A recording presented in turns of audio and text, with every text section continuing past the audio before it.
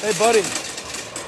Why are you standing here like this? What are you doing? Now, unfortunately, a lot of people steal all this uh, mulch that we got out here. People are stealing mulch? Well, yeah, they just throw it in their cars and then they drive off. Wow, what a shame. Nothing is sacred these days, huh? I can't stand dishonest people. Well, you're doing a good job. Oh, thank you, sir. Take care. Hey, uh, you paid for those plants there? Did I pay for these plants? Yeah. Of course I did. Oh, okay. Look at its face. Why, you think I didn't pay for these? No, no, no. Can I just uh, see your receipt, though? Uh, The receipt's over there. Oh, okay.